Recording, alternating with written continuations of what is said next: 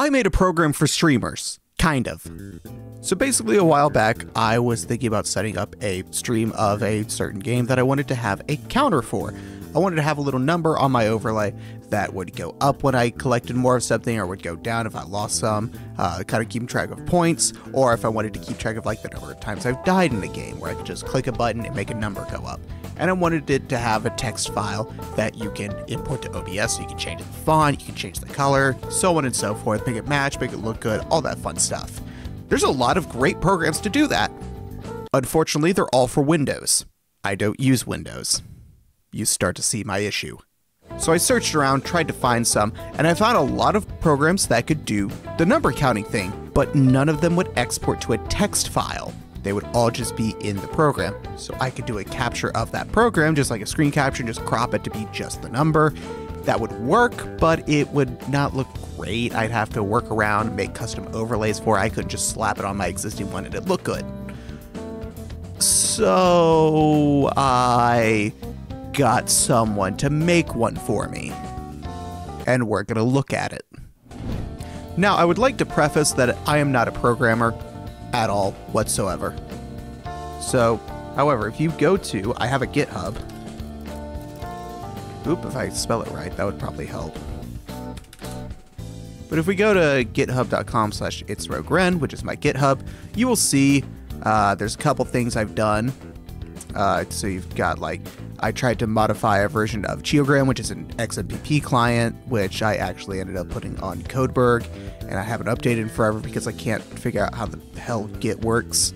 Uh, GitHub is way easier, and I'll probably end up just uploading it to GitHub. Uh, I've got a Better Discord theme that I used for a bit before I stopped using Better Discord because it kept breaking. I just get it, got annoyed with it. Um, it's the same thing with these. These were like themes for Better Discord, and then I stopped using Better Discord, and I just started using the web browser version. So I don't I don't even have Better Discord installed any, anymore. I should probably get rid of these. Uh, I have a fork of OpenSeeFace GD, which I forked in order to try to build it from scratch with uh, a custom build of Godot. Um, I've got my initial Open VTuber program, which I tried to make uh, in Unity, and then immediately abandoned in favor of just letting Ewan make OpenSeeFace GD because he actually knows what he's doing. But right here, this is what we're talking about right here number counter. I know, very creative name. So it's not going to have a lot of details on it. There's only one release. It's not going to really change much of anything. But it's a basic number counter.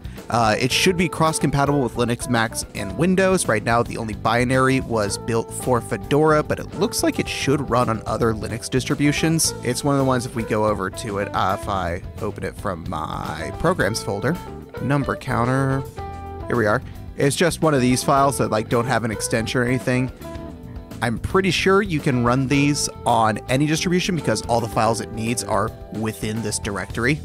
So like these are all the files it needs and they're all just right there so it shouldn't matter what distro you're on. But I'll just go ahead and read you through the explanation of what I put in the README. So it's a basic number counter for Linux, Macs, and Windows that exports to a text file for use the OBS. The code was commissioned and it isn't pretty, but it works. Uh, Brody took a look at it and he, his immediate reaction upon me sending him the GitHub link was this code is disgusting. I don't know if that means that like it's just done really bad, if it's like really lazily done, if it's going to end up breaking in a week. I don't know. I don't really care. It works. I couldn't find anything on Linux that does this, so I got someone to make it. Uh, essentially, the way it works is the program uh, gives you a box. Well, I guess I could just to show you actually. That would probably be a better explanation. So you get this. So you have your number counter. By default, I have them exporting to uh, home slash user slash documents slash number counter. Um, that's where your text files will be by default. You can change that if you want. Um, and you've got little menu file. You choose a light or a dark theme. I keep it dark because I like dark themes. Um, and you can add a new counter. When you have a counter right here, it's going to start with just one. You can double click the name to rename it. So like I can rename this from deaths to, uh, say I'm doing Pokemon. We'll say these are gym badges. I can't spell.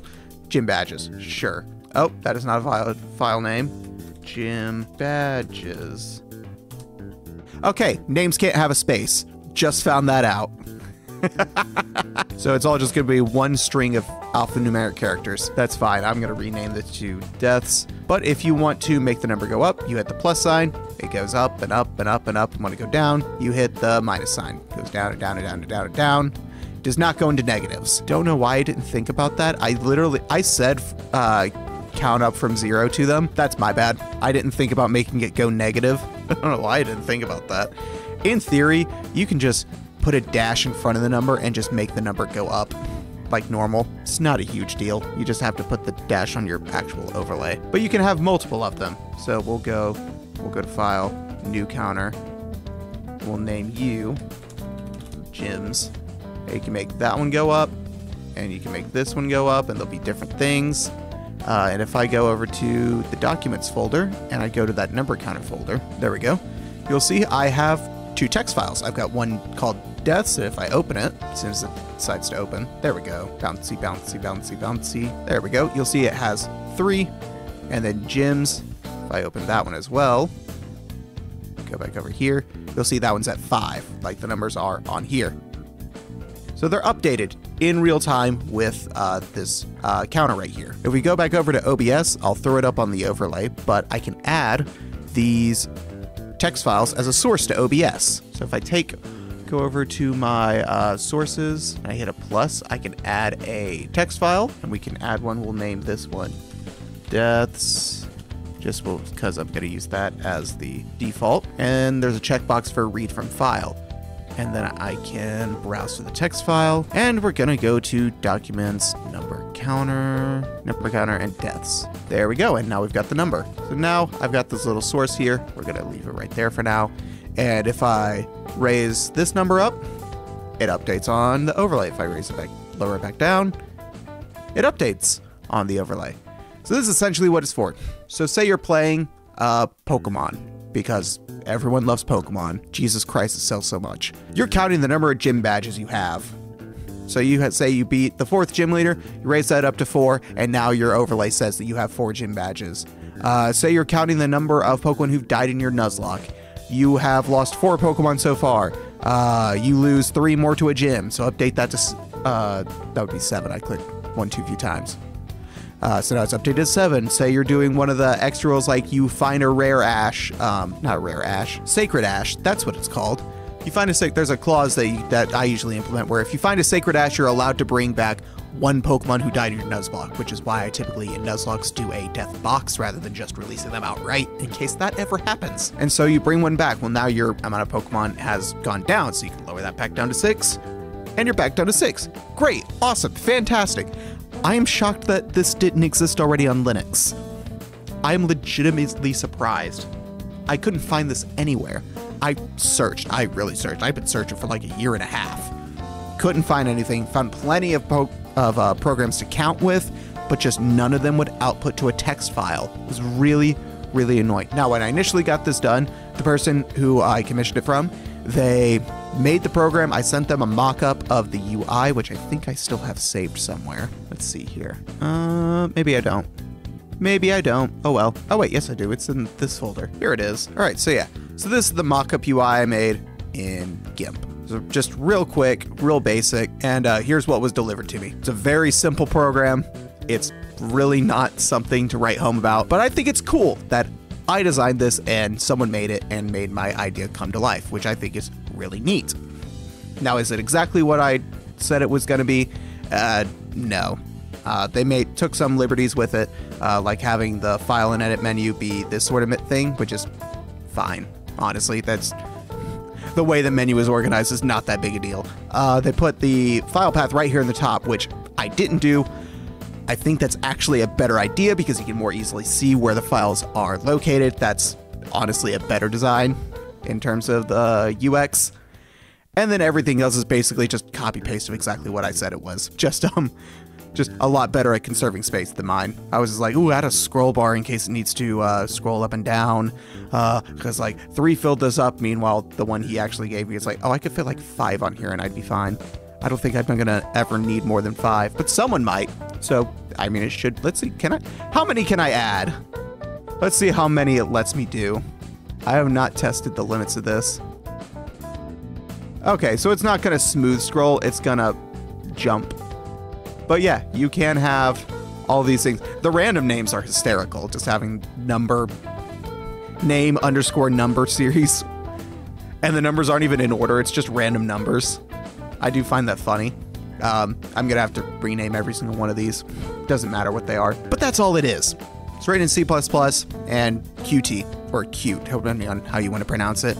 And uh, there's just the one release file, which is just the Linux folder that I showed you. It's just that same bin uh, bin folder with all the files in it in a zip folder. It was built against, I think, Fedora 35, 36. I'm using Nobara, which is currently built off of Fedora 38, and it's working just fine. Uh, I could show you the uh, light mode if you want, but it's literally just inverted is all. Also, for some reason, file jumps over here whenever you're in light mode. When you switch themes, now the file button jumps over there. I don't know why. It doesn't, again, it's just supposed to be usable. It doesn't really matter. But that's it. That is the program I had made. Now, who is this for? Uh, me. It's just for me. That's it. I just think it's cool and wanted to share. But hey, if you end up wanting this and you want to use it, by all means, go ahead. I have one person watching it. I don't know who. Oh, it's me. I was just saying, oh wow, somebody found this? uh, no, no, they did not. It is just me. I forget that it auto adds you to the watch list, and I'm not signed into GitHub right now, so uh, it doesn't hide that. But that's my program. Is it going to be super useful to people? Maybe. Am I really holding my breath? Not really. Uh, if you're a streamer on Linux and this helps you out, cool, awesome. Just let me know in the comments. If you think it's a terrible idea because a better one already exists, also leave that in the comments because I would love to see more like streamer related tools for uh, Linux users because there's not a whole lot. We're using a lot of hacky workarounds. We're using either Windows programs that we managed to get to run in Wine or a bunch of people are using like scripts and stuff. Uh, if you want to take this code and make it more elegant, I guess, or just think that it's disgusting and it bothers you and you want to fix it, go ahead. It's open source. I put it under GPL v3, so uh, as long as whatever you make from it is also open source under GPL, you can do whatever you want with it. I consider it MIT, but I really don't see a use case for this where someone wants to not have it be open source, considering how there's already a plethora of them on Windows. But hey, Maybe I'll change the license at some point. Probably not. I think that this is such a simple, tiny tool that just keeping it open source is just a nice thing to do. But hey, maybe you disagree. If you do, leave a comment down below. If you like the video, hit the like button. If you want to watch more videos, hit the subscribe button and punch it in its fucking face. God, I hate that button and I want it to die. No, I'm kidding. Uh, beat the ever loving shit out of the subscribe button so that you don't miss any videos. And then poke its friend the bell. That's gonna be it for me. If you want to watch more size stuff, there's some videos probably recommended somewhere around here. And uh, if you want to see me live, I stream every week, give or take. Uh, I'm gonna be moving those streams from Wednesday to Tuesday if I haven't already, and probably might be throwing one on the end on uh, Friday as well. Not quite certain when that second one's going to be. But uh, yeah, streams are going to be moving from Wednesday to Tuesday. And then I might do stuff on Wednesday. I might not. I don't really know. Who knows? Special streams. I might be on someone else's stream. That'd be cool. Or I might not and just you'd never hear from me again. You never know. Better subscribe to find out. Follow me on socials. Bye!